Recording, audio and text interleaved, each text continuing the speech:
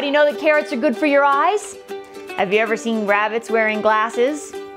I can hear you laughing. We are making hops or rabbit waffles with fresh pressed carrot juice and carrot pulp. There we go, look at that. Very good. What's it making? Flour, baking powder, and a little bit of salt. Will you whisk that up for me, honey? I'm gonna add an egg and neutral oil, some almond milk. We're gonna add a half a cup of the carrot juice we made.